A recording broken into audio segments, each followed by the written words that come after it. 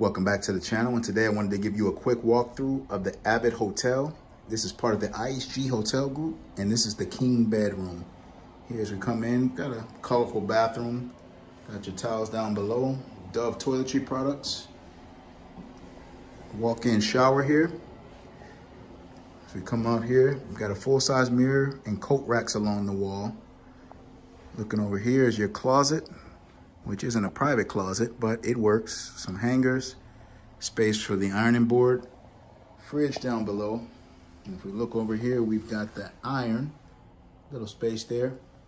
There is some power right under that lamp by the bed with the clock, king bed, TV on the wall, space for your luggage, and a view of not too much. So this is the Avid Hotel, which is a part of the IHG Hotel Group.